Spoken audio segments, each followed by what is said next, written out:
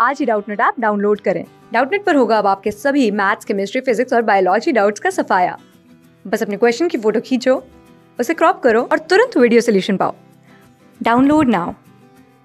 इस क्वेश्चन बोला one card is drawn from well shuffled deck of 52 cards find the probability of getting a spade ठीक है? तो यहाँ पे हमारी प्रोबेबिलिटी की बात की प्रोबेबिलिटी हमारे पास क्या होता है? Favourable cases by total cases ठीक है?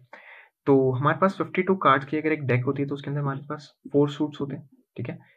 क्लब स्पेड डायमंड हार्ट ठीक है? ये हमारे फोर सूट्स होते हैं। तो हमें क्या निकालना है? Find the probability of getting a spade spade हमारे पास इसकी प्रोबेबिलिटी निकालनी कि ये आए, ठीक है? अब सारे कार्ड्स इक्वल इन नंबर होते हैं दैट इज़ थर्टीन ईच ठीक है?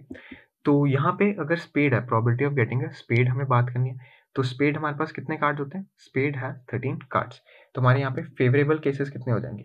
फेवरेबल केसेस हमारे क्या होंगे? बेसिकली सारे स्पेड्स तो फेवरेबल केसेस हमारे पास कितने? फेवरेबल थर्टीन एंड टोटल हमारे पास कितने टोटल इज़ बेसिकली मैं इन 52 कार्ड में से कोई भी एक कार्ड ले सकता हूँ। तो वो हमारे पास कितने पॉसिबल केसेस हैं? There are 52 cases that is 52 cards her card मेरा एक केस रिप्रेजेंट कर देगा। तो यहाँ पे प्रोबेबिलिटी क्या आ जाएगी? 13 बाय 52 तो हमारा कैंसिल आउट हो रहा है। This comes out to be 4 which is 1 by 4 hence probability of getting a spade हमारे पास क्या आएगा? 1 बाय 4 क्लास सिक्स से ट्वेल्थ से लेके NEET I I T JEE mains और एडवांस के लेवल तक।